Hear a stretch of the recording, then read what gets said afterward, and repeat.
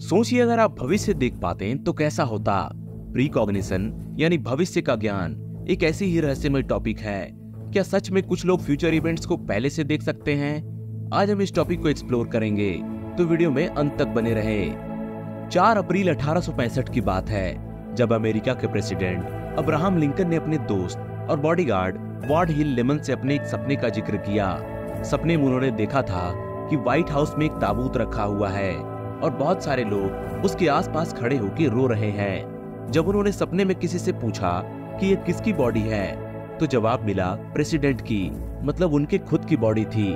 ये सपना उन्हें बहुत बेचैन कर गया और सिर्फ़ दस दिनों के बाद 14 अप्रैल अठारह सौ पैंसठ को लिंकन को मार दिया गया और वहाँ उनकी बॉडी व्हाइट हाउस में रखी गई।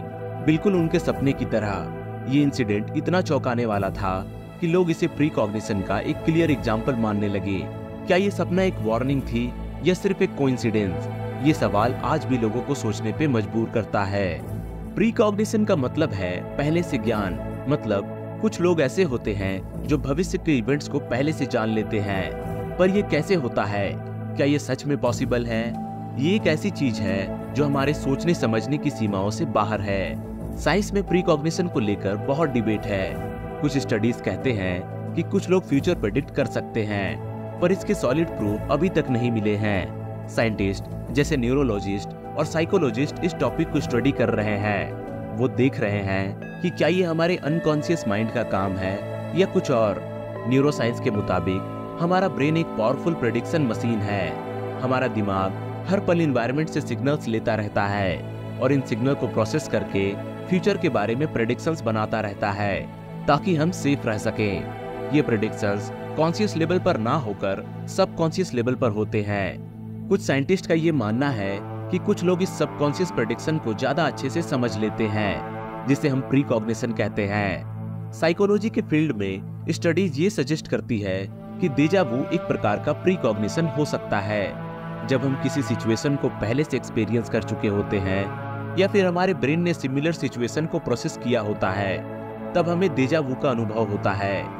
ये कॉग्निटिव इल्यूजन हो सकता है, जो प्री कॉग्निशन जैसा लगता है। अगर आपको देजावू पे डिटेल में वीडियो चाहिए तो कमेंट करके बताएँ। मैं उस पर एक डिटेल वीडियो बना दूँगा। और अगर अभी तक वीडियो देख रहे हो तो सब्सक्राइब भी ज़रूर कर लें। और फ़िलहाल चलते हैं अपने टॉपिक पर।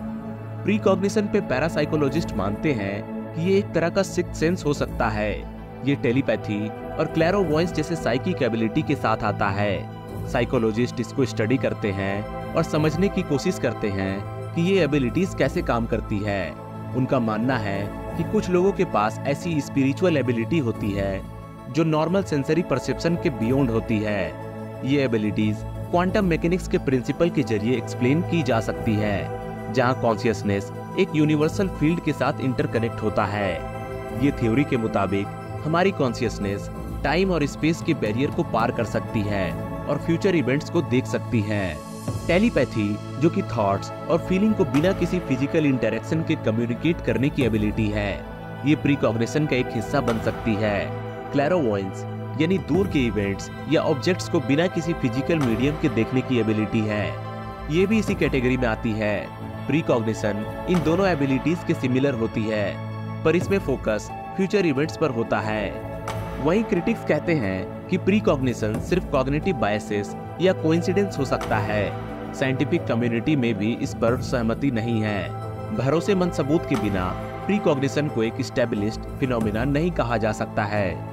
कई साइंटिफिक स्टडीज़ ने प्रीकॉग्निशन को प्रूफ या डिस्प्रूव करने की कोशिश की है, पर कुछ एक्सपेरिमेंट्स छोटे इफेक्ट्स दिखाते हैं, जबकि कुछ तो बिल्कुल भी इफेक्ट्स नहीं दिखाते हैं। तो अंत में बस यही कह सकते हैं कि प्रीकॉग्निशन एक रहस्यमयी और फैसिनेटिंग टॉपिक है। चाहे ये एक साइकिक एबिलिटी हो या दिमाग का खेल, इसकी मिस्ट्री बरकरार है। जैसे जैसे हम मानव चेतना और परसेप्शन को एक्सप्लोर करते हैं, हमारी समझ और भी गहरी होती जाती है। शायद हमारा भविष्य इतना प्रेडिक्टेबल ना हो, पर हमारी जिज्ञासा और खोज कभी खत्म नहीं होती।